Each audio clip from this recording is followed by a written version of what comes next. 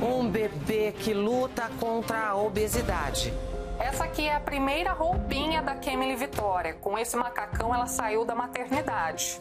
Um ano e oito meses depois, essa é a roupa que ela usa. As explicações para o excesso de peso e como a família enfrenta o preconceito diante de um problema cada vez mais comum entre as crianças brasileiras. É sete e meia da noite, no Domingo Espetacular.